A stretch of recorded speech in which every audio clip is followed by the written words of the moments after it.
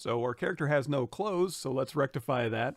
Uh, from where we left off, we have a high-res body file over here that we're passing back and forth between Character Creator and ZBrush. What we're going to be doing now is going to be a GameRes pipeline where we're going to have a high-res ZBrush file that we're going to create a GameRes for. We're going to export our high-res, export our low-res, bake those differences, uh, and then bring in our low-res into Character Creator just by importing it. So there's not going to be any Character Creator go-zing back and forth. Now you can, uh, but I wanted to cover this game res pipeline just to show you how it works. And if you want to see a little bit more on the creation of this high-res stuff, I'm sure I mentioned this in the bumper. I'm going to give you a link to this file here, or this video, I should say, where basically we do walk through, here's how we created the pants and the boots and the wrap ties and all the stuff we do in ZBrush to create those assets, as well as going in here and using curves for like Substance Painter stitches. And we'll talk a little bit about texturing in this video too. But like I said, this is the game res pipeline there is, if you want to have that parity, and it's a good thing to have between Character Creator and ZBrush, where if I have a low res mesh, but I make changes in Character Creator, I want to send those back to ZBrush. That's more of a, for me, a 3D printer pipeline for my assets. So this is this uh, set right here, the ZBrush Mesh and Reallusion Character Creator workflow. If you go and watch this video, this will show you how to use Character Creator in GoZ and ZBrush to pass assets and accessories and clothing back and forth and maintain that parity between your files. So we'll cover both in this, uh, but we're going to start with the GameRes process. So and speaking of the game res process, I have a couple different versions of different types of game res you might create. We have kind of a cinematic game res over here in the shirt, and then we have more of a game game res here in the helmet. And this will make more sense as I get further into it. But to reiterate, this is not a game res creation course. Please don't look at this course as something that's like, this is how you make a game res. This is just how I do quick and dirty stuff for demos hopefully give you a few examples that you can kind of take away information from and apply it to your own workflows. So here we have our high res, and if I scroll up in my file here, so body high res we've already talked about. This is where we are going back and forth between CC and Character Creator with GoZ. Here's our base body that we've poly painted and we have a high res that we bake to. We've already done that part. In here, now I have a file that has all of his high res clothing and accessory uh, options that we're going to be baking out to a game res. And if I turn on the body here, you're going to see I have a placeholder body file. This does not have to be an expensive placeholder body file. If I select him, you'll see he's only 214,000 points. In fact, I think he's subdivision level 3. And in fact, he doesn't even need UVs. I can go down here to UV map, just hit delete UV. That'll save some file size so I don't have to, you know, have slow saves or taking up extra RAM if I don't need it. He's literally just there to build stuff off of. My real body file is over here in this file. You'll also notice uh, on this file here, I don't have a, a, null mesh up here to name catch, which we went over in the naming.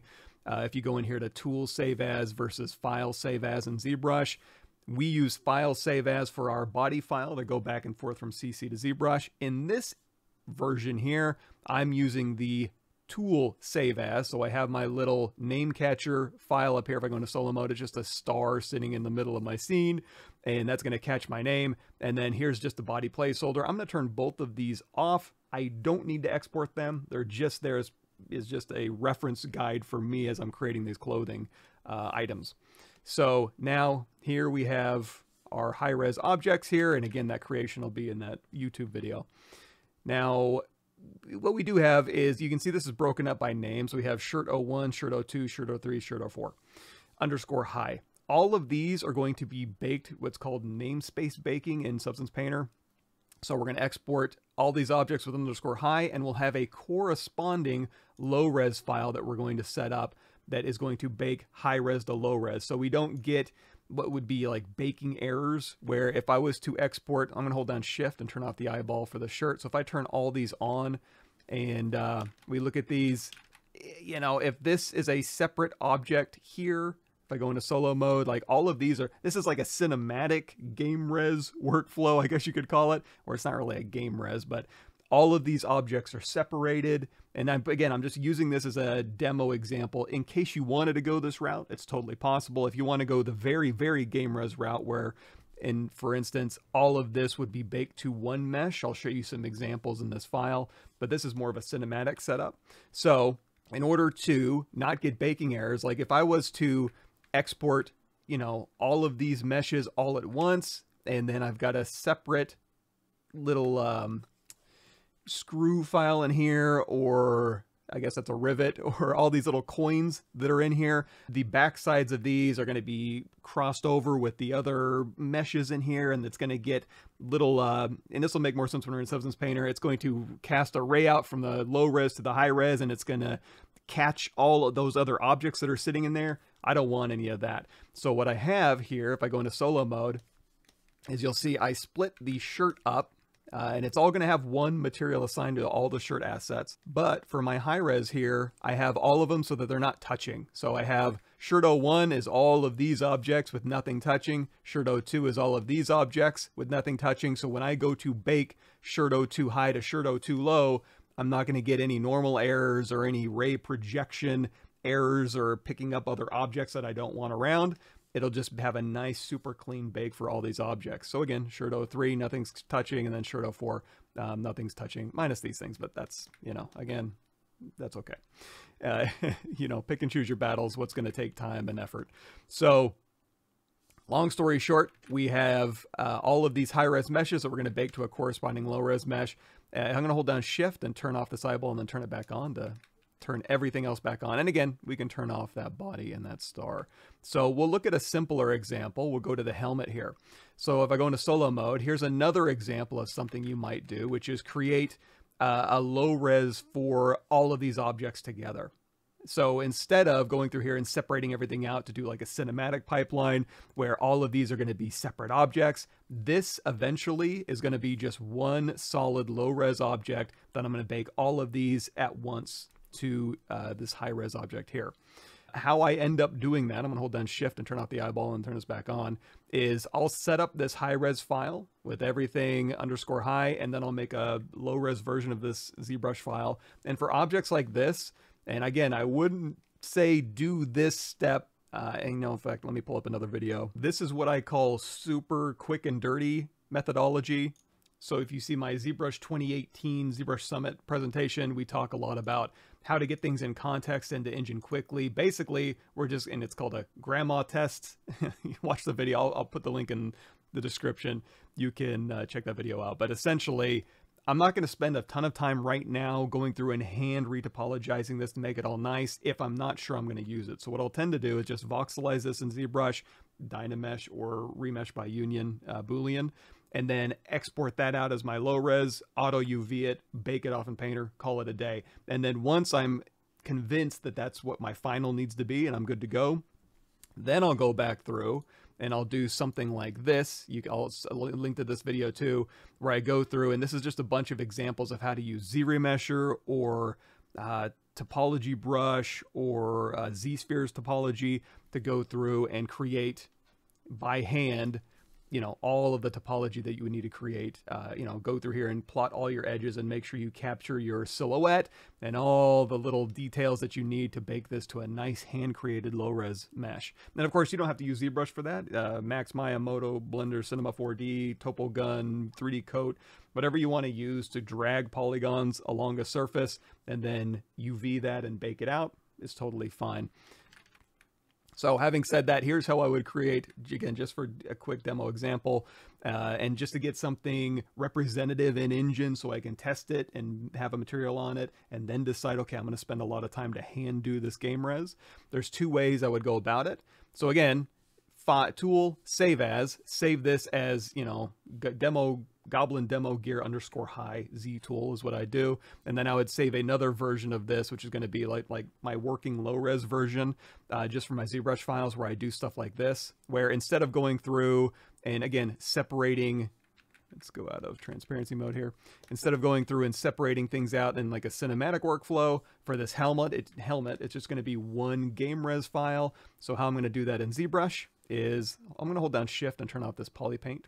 So you can we'll talk about those poly paint in just a second the material IDs but for this low res here two ways I could do that. I'm going to go down here to geometry Dynamesh. I'm going to turn down blur uh, turn off project. Uh, my resolution I'm going to play around with the slider. Essentially what I'm looking for is a single low res envelope that I can use as a basis for creating my quote unquote game res. So I'm just going to, you know, I'll move this up, you know, the 992. I'm not really even sure what I want to use. I'm just going to hit Dynamesh. and I'm going to look at that result and let's switch this material out to green metallic. And we can see what it did was stick all of my objects together. So instead of having a bunch of objects that are all separate here, so if I go into my move brush and say auto masking, turn on topological, you can see I can move these objects separately. As soon as I hit this Dynamesh button, and again, we'll turn that resolution up, it's going to combine all these objects into one mesh. If I go through here and hold down shift and smooth, you'll see these are all, you know, objects that are all put together. Now you can see right here, Dynamesh does do kind of, it's good at creating low res envelopes, don't get me wrong. And this is what you could call like uh, voxelization. In fact, if you go to my uh, playlist here, there is a Houdini game res workflow. So here's Houdini auto game res. If you look at this one, this is how to set up your own game res creation pipeline where you can you actually use a voxelization node and uh, you know, here's voxel mesh basics and stuff. So kind of the same workflow. This is just a little bit of a manual uh, touch in ZBrush here. Uh, and you'll get some of these same errors using voxelization in Houdini as well, where it wants to like reach across and kind of mush geometry together and this can create some really nasty situations. Now if you see them in here, what you can do is hold down shift, go into Sculptris Pro, and then just kind of smooth those areas out. Um, you could even store your original high-res mesh. If I go back in my history here, hold down control and tap, that'll store those points in history. So as I'm making those changes, I can go back in here to BHR, history recall brush, and I could, you know, go through and get the basically get these verts back up to the high res mesh. Because if I'm smoothing, I'm averaging those verts and it's pulling away from the high res mesh. I want to bring those back to the high res mesh. So BHR is a easy way to do that with history stored on your original high-res mesh. So that's one way I would go through and just create a low-res mesh. And in fact, the lower res mesh or the lower resolution on your Dynamesh, the more it'll go through and fill any weird holes and any of that stuff. Again, it might give you some nasty geometry in here, so go through here and look and make sure it's not doing anything terribly wrong. Uh, you can also clean this up in an external program. But now that we have this kind of again, it's got all of the silhouette detail that I need to capture, and then all of my high-res detail, I'm going to bake that to a normal map.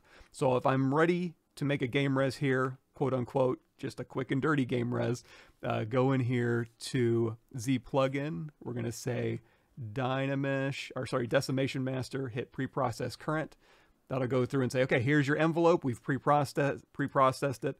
And now instead of 24, you know, 1,000 points, maybe we want to drop this. We'll try 10 hit enter, hit decimate current, and here's a 10,000 point uh, game res that I can export as my uh, low res. And then I would just UV this. You could UV it in here if you want to. That would be under Z plugin, UV master. You could use this to UV your object. Uh, I'm going to UV all this externally.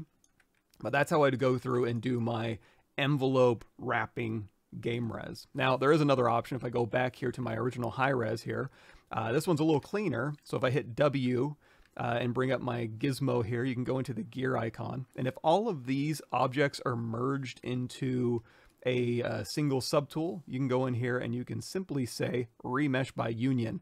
This is going to run a Boolean operation on these objects. So it's going to go through and do a very clean job. It's not going to be like Dynamesh where it creates a blanket and then, you know, it creates a voxelized effect with like little crumbly edges and stuff. This is literally turning this into one Boolean object. Everything is all stuck together now. So if I, am going to hold down shift, turn off Sculptris Pro, go into my move brush, and if I go in here again, we have my brush settings over here and I have topological turned on.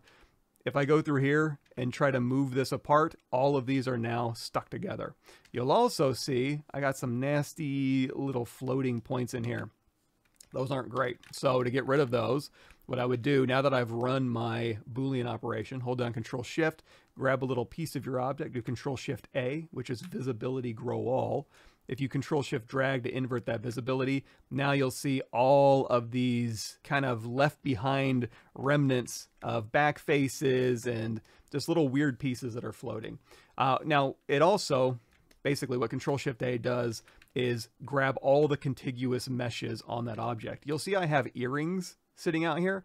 These aren't bad. I want to keep those around. So I'm going to hold down Control Shift Alt and add those to my visibility selection. And now if I Control Shift drag, I've basically inverted the visibility. So all of those nasty floating pieces out here are invisible.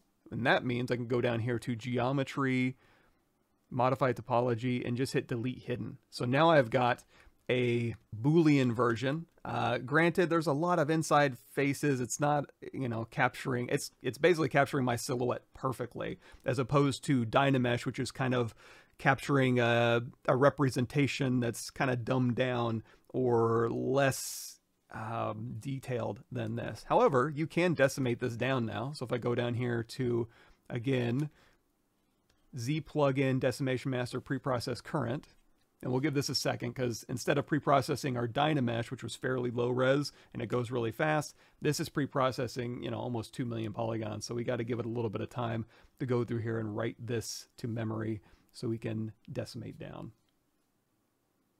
So we'll speed that up. It didn't take too long, maybe 46 seconds. That's not terrible. But uh, we're going to go over here and we've pre-processed. And I should mention, since we've pre-processed once, we can go in here and I say, okay, let's try 50,000 polygons. Type in 50, hit enter. And let's try that again. 50, hit enter. Hit decimate current, and it'll decimate it down to a 50k point uh, game res. And you don't even have to pre-process if you want to change that. If you want to go in here and say, hey, you know what, let's try 10. Type in 10, hit decimate, and here's our 10k poly version. So dial in whatever, you know, how many polys you want this to be. And that brings up a, a good point.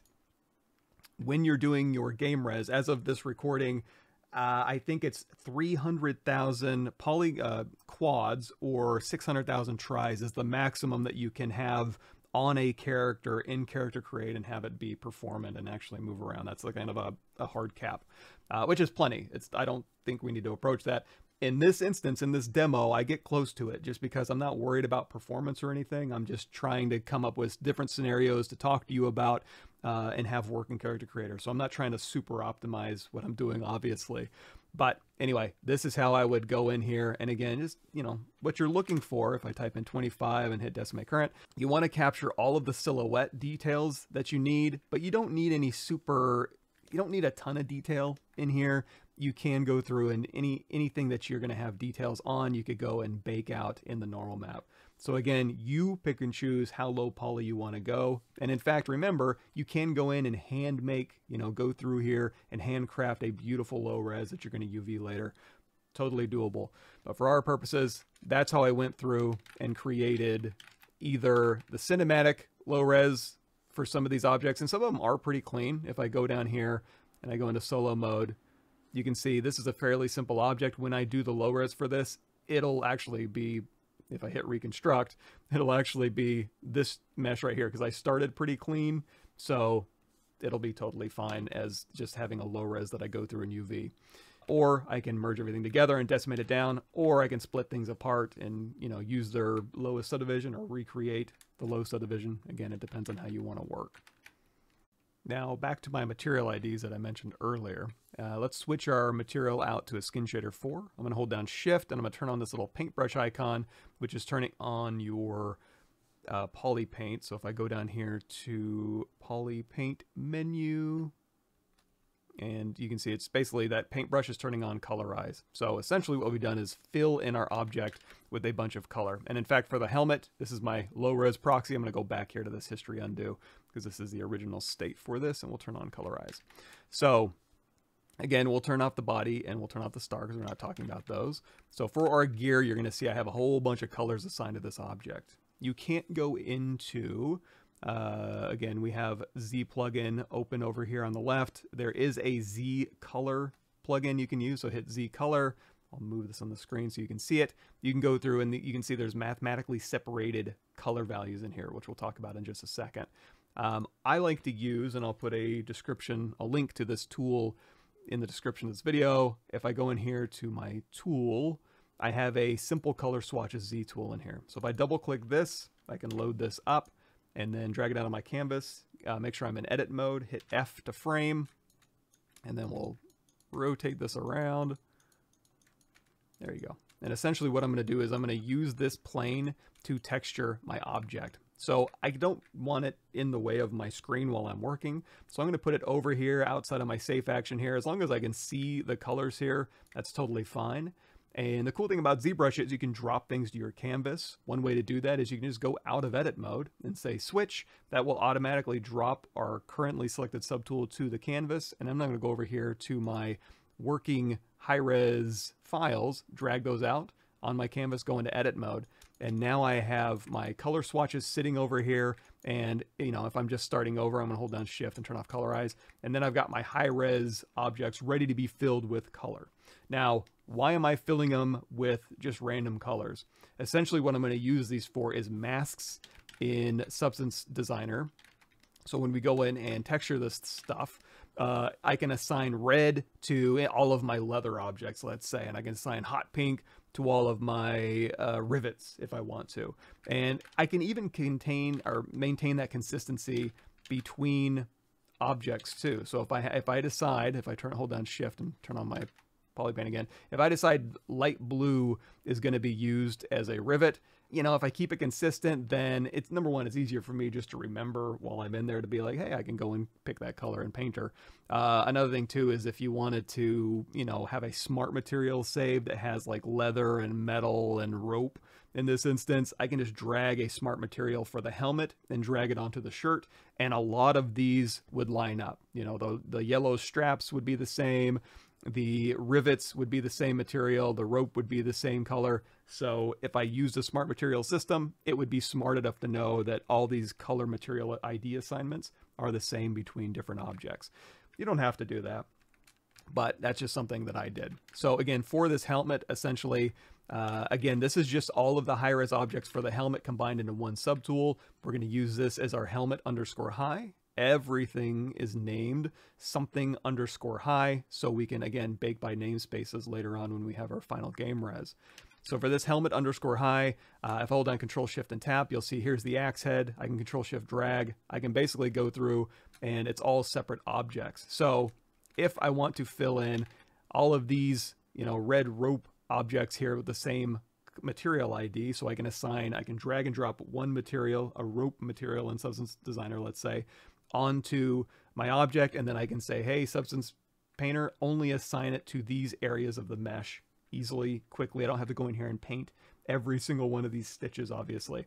So Control Shift tap this rope, Control Shift tap these little stitches in here, Control Shift drag to invert that visibility. I'm going to go through here. If I tap C on my keyboard, you'll see it's updating the color here. So I can very quickly go through here and just grab a different color. Now, why these colors? If I go into my color menu and drag that over here to the left, look at these values as they change. Red up here is a value of R255. So red is 255, green is 0, blue is 0. If I do this one, it's 255, 0, 255. If I do this one, it's 0, 0, 255, etc. These are all very separated out so that when the robot eyeballs uh, in Substance Painter go and try to make a mask from these values, it's looking at these values too because it's a robot brain.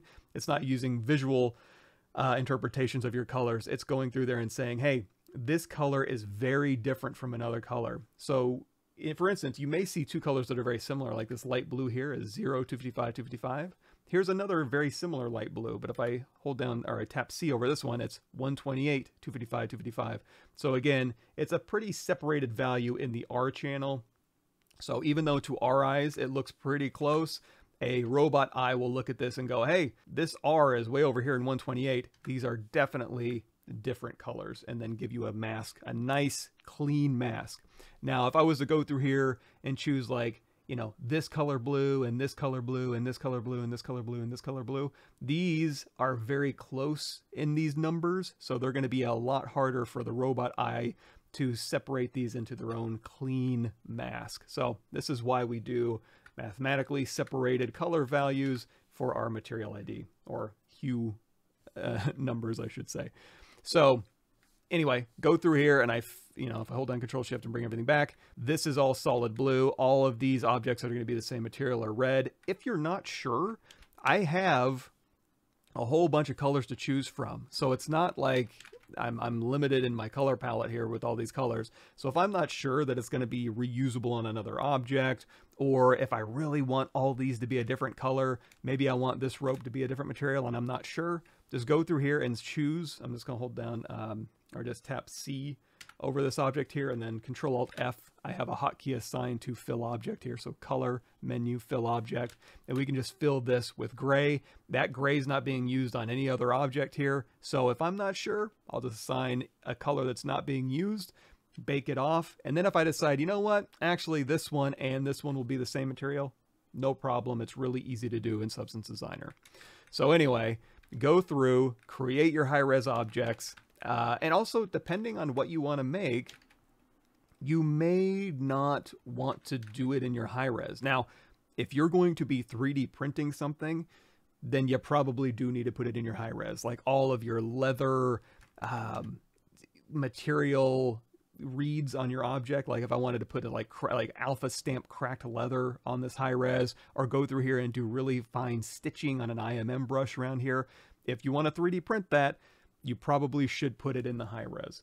Um, if you're just using this as a game res pipeline, I would say anything that doesn't break your silhouette, feel free to just create that stuff in your uh, game res in Substance Painter in the texture.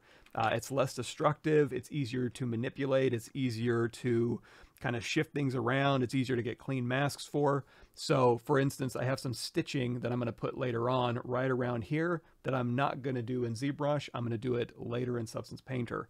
You know, so kind of pick and choose what you do in ZBrush. And also you'll see there's no leather detail on this surface because I'm going to put that uh, or scratches. Uh, I guess there's a there's kind of some scratches on here. Uh, but again, I'm going to put a lot more scratches and a lot more wear and tear and leather uh, material surface treatment to this to really sell the object. So I'm not going to rely on just my ZBrush sculpt to provide that information. So we have all of our high-res objects in here, underscore high, and we're going to export these out and then create our, you know, set up our game res basically, and we're going to bake those together in Substance Painter. So again, with all of these showing, and again, I don't need the body, I don't need this star. These are just a name catcher and a placeholder. So with all of these objects showing, my underscore high objects showing, I'm going to go to Tool, Export, and we're going to export this in the GearBake folder as an FBX file. FBX files will maintain your naming. Uh, it will export your poly paint as uh, vertex color, which we're going to bake off as a material ID. Again, this will all make more sense when we're in Substance Painter. So I'm again, gear bake high underscore. I'm going to, I would double click this and override it. I've already written this out, so I'm not going to sit here and wait for it to export. Um, but go ahead and say export this as, for example, gear bake underscore high. That's not going to name anything in here, gear bake underscore anything. This is just a, an FBX file is an envelope file that contains all of your objects within it. So don't worry about it renaming anything. Your name of your FBX is just for you to look at and understand. Um, and then we're going to make a low res, which I'm going to talk about. So go ahead and hit export as an FBX. And actually, let me go ahead and go through that process really quick, just so you can see the settings that I use. So if I say, okay, overwrite this, yes, I can't move this window, but I can put it here. Uh, basically, visible, binary is fine, whatever FBX version you want to use, they all seem to work. One thing that's really important here, do smooth your normals on your high res. Number one, it's going to reduce your file size considerably because all of your vertex normals are going to be average. They're going to have one value as opposed to multiple for you know, hard surface vertex normals. And that's about it. So again, only visible, not selected, not all, and then smooth your normals, hit OK, and that'll go ahead and write out your high res. Now, in this case, we're exporting 18 million points, so give it a bit. It might take a while, you know, a couple minutes to export all that to a file. So let's talk about that game res. I'm going to go in here to File, Open. I have a working file of my game res here. And just like we talked about, for every single high res object we have in ZBrush, we have a corresponding low res. And when I go into Substance Painter, I'm going to tell it bake shirt 01 low to shirt 01 high. I'm going to bring in, while we're talking about my game res, I'm going to scoot this guy over and we're going to pull over the UV map and we're going to pull over our hyper shade. Uh, if you want to get to these, it's Windows Modeling Editors is UV Editor. And then up here in your interface here, uh, if you hit this button, that'll open up your hyper shade. So two really important things we need to talk about. In our previous video, we used the UDIM workflow for the body. It had head and chest and arms, and it was basically one solid object, but it was UV'd in such a way that it, you know, had, you know, one, two, three, four, five, and six, uh, you know, quadrants that it was taking up. What we're going to be doing in this workflow is not a UDIM workflow, but this is going to be a basic zero to one material assignment workflow that creates our texture sets. So what that means is, remember, shirt 01 low is going to bake to shirt 01 high, etc., etc. However, you're going to see like shirt 04 doesn't take up all the UV space, neither does 3, 2, and 1. However, all of these low reses put together take up the entire, when I say 0 to 1, I mean here's the 0, 0 in UV space, and then here's the 1, 1 in the main UV quadrant. So that's the 0 to 1 quadrant, basically. Now, how I put all of these together in Substance Painter or allow it Substance Painter to know, hey, all of these objects I want to paint as one texture set is simply assign a material to it. So I can select all of these objects here. I can right click and say, you know, assign new material and then choose, you know, I choose a blend, doesn't really matter. Uh, and then that'll create a new material assigned to all these objects. Or you can go in here and say, you know, create create a new blend material, uh, control double click it in order to rename it or, you know, right click and choose rename, I suppose. And then select all of your shirt objects, right click the shirt material and say assign materials to selection. So now if I right click the shirt and say select objects with material, actually let's deselect everything so you can see this. Right click shirt, select object with material. All of the shirt objects are assigned the shirt material and all of those objects are UV'd 0 to 1. So even though I'm baking them separately by their namespace, in Substance Painter, they're all going to be part of one texture set that I'm going to be texturing basically. And I'm going to step through, you know, here's the helmet. The helmet doesn't have multiple objects. It's just one single solid object. And you can see in here, be, this will be our dirty little secret. We decimated this game res. We auto UV'd it we exported it. It's totally gross. I wouldn't say put these UVs in your portfolio and expect a good job. Again, this is just uh, something representative I can throw into Engine really quickly, evaluate it, and then when I want to do my real game res, then I'll go through and hand do my game res. Until that point, I'm not going to bother putting in that time. We're just kind of, again, this is just quick and dirty workflow. Uh, but again, be as clean as you want. You know, here's the loincloth. Those are super clean, right? Uh, and this is getting baked to its own uh, object here. Here's the axe, etc. So you can see all the glove stuff here, all the boot stuff here. And again, the boots are fairly clean. It is pretty quick job, you know, going through and just cutting UVs and laying them out. But again, this isn't really a game res or a high res creation video. I just want to make sure I bridge that gap between here's surprise, we're dragging assets or accessories into character creator. I want to give you at least a little info on what's going on in order to get to that point. So anyway, all of these boots, for example, like we just talked about, have the boots material assigned. So here's another thing. If you're bringing in low-res objects or like a decimated version of your ZBrush mesh for your game res, make sure I usually select all my objects, go in here to, and again, this this same deal in Max Maya Modo Blender Cinema 4D Houdini, uh, going into mesh display, I like to do an unlock normals because sometimes your normals can come in locked. If they're, if they're ever like look black and splotchy in areas, that's probably you have locked normals. So go ahead and unlock your normals. And then I'll do a set to face and then I'll do a soften, uh, soften edge basically. I soften all of my verts. Now granted, uh, it might behoove you if you're doing real game res to go through here and, you know, harden your edges along your UV borders if you're doing hard surface modeling uh, and you want to bake and use your hard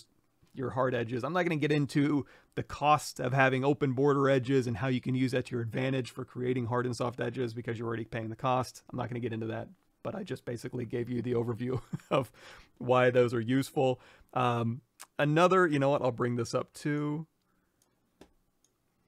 Uh, Dennis Porter, uh, one of my good friends, Dennis Porter, at least I hope he considers me a good friend. Uh, he has an awesome plugin that'll go through and do smoothing groups for Maya based on your open border edges and or the curvature of your mesh to kind of uh, give you the best of both worlds as opposed to, you know, cost and uh, vertex normals. So anyway, in our case, I just went through and unlocked all my normals, set them to face, soften them all. If you're in Maya, for example, and you're and you have a mesh that looks like that looks like this, where it's like pure black, uh, probably you do need to go in here to mesh display and say, uh, you could say set the face, but again, all those normals are reversed. Uh, so I need to go in here to mesh display and hit reverse. And now my normals are facing the right way.